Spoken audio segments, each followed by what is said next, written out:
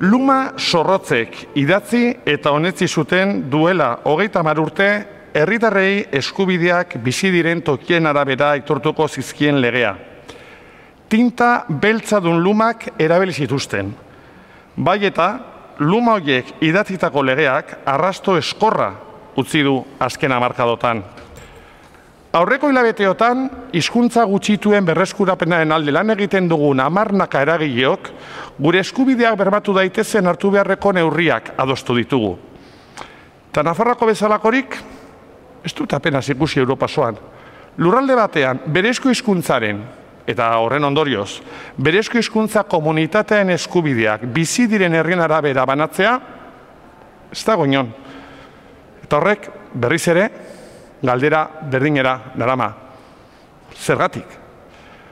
Hogeita balgarren mendean, bizikiretzaz, koesioaz, justiziaz hitz egiten dugun honetan, bestelako Nafarroa bat buruan dugunean, ez alda unea bidekabekeria honi amaiera emateko. Ausardiaz, kemenez eta arduraz jokatzea tokatzen da orain. Eta horretarako, babesa baduzue.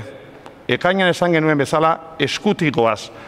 Horrexegatik, eta itzaldian zehar, luma batek zein indar esan dezakeen azaldu dudala kontuan hartuta, kontsiluen izenean, luma bat eman nahi diogu parlamentuko lehendakariari, Ainoa Narez Andreari, etorkizun hobea, etorkizun justuagoa izan dadin beharrezkoa diren tresnak idazteko. Horretarako erabildezatela luma. Idazteko, izan ere, paper zurian idazten espadugu, arriskoa baitago paperan egan egiteko.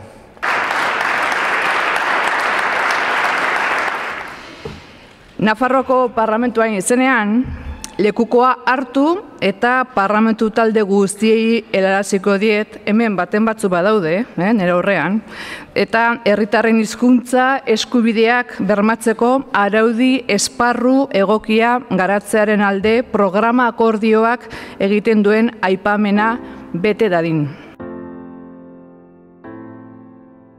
Hogeita urte dauzkala lege honek, zoritxarreko legea, ez du balio, zen gustatu orduan, orain ere eta bueno, gure erronka eta gure apostua da noski hau aldatzea. Horren kontseioak egin dako enplazamenduak gu guretzat hartzen dugu eta gu bintzat gure alegin osoa egin behar dugu hau aldatzeko. Ez da, bakarrik gure esko, nik uste hau batzuen arteko erabaki ez martula, baina bueno, gure alezi bentzat, zarantzari gabe, eutxiko mm enplazamenduari. Bueno, nik uste dut etorkizuna idazten ari garela jadanik eta etorkizuna nolabait bizitzen ere bai eta erronka baldin bada euskararen lege berri bat egitea gu pres gaude.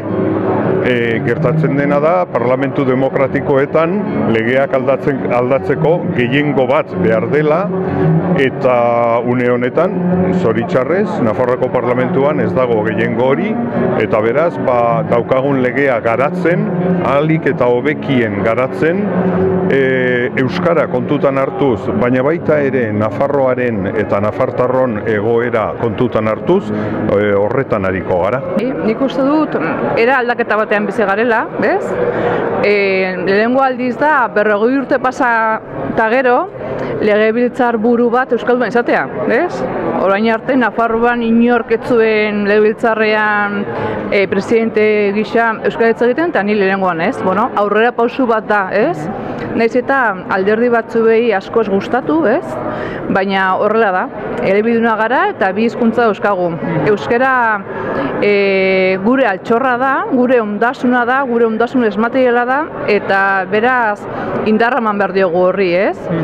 Eta, bueno, gure akordi programatikoan Euskarei bultzada emateko e, neurri asko jaso genituen duela urte terdi eta hortan gabiltza, horri bultzada ematen.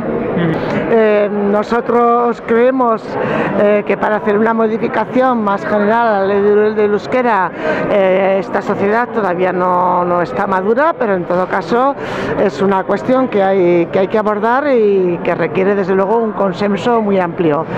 bueno, nosotros y nosotras de Izquierda a Esquerra siempre hemos valorado mucho el enfoque afectivo de las lenguas y por eso entendemos que hay un amplio margen y un amplio campo de trabajo para acercar el euskera a toda la población navarra, eh, para que todos y todas lo sintamos como algo nuestro y ese, ese amor, ese aprecio hacia la lengua creo que contribuirá mucho, muchísimo al desarrollo de la misma. Bueno, orain arte ez da posible izan eta dut eh, hori egiteko asmorik eh, ez dutenek adierazi dute ez dutela eta hori aldatu behar da. Orduan, bueno, momentu honetan ez dago epe oso motzen hori egiteko aukerarik noski, baina bueno, nik uste hor etorri behar dula berezik izango nuke gizartetik eskakizun e, ozten bat, esateko hau ezinbestekoa dela, beharrezkoa dela, eta nik uste arduradun politikoek egin dela hori entzon, eta horri dagokion erabakia hartuta, kasu honetan erabakia da Euskararen lege berria egitea. E, Euskararen legea gustoko ez dugun lege bat, eta hori azpimarratu nahi dut, baina gustoko ez dugun lege bat, baina daukagun legea da, eta gobernu honek argi eta garbi egin du apustu, lege horrek, gustoko ez dugun lege horrek eskaintzen dizkigun ate eta leio guztiak irekiz joateko eta Euskararen alde lan egiteko. Baina noski, noski, e, eta hori ere argi eta garbi izan behar da, Nafarroa Nafarroaren eta Nafartarron egoera kontutan hartuz. Ez da e, afera arreza, lau alderdiz berdin gara, eta bakoitza bere programa ere dauka, bere egitaragoa dauka, egitasmoa dauzka, baina bai, e, duela urtu eta erdi, zeirun da mairu neurri adostu baldin bagenituen, Euskararen inguruan baita ere, aurrea jo behar dugu, ez? Hori da gure konpromisua herritargo guztiarekin, beraz, gure hori da eta buru belarri ibiliko gara.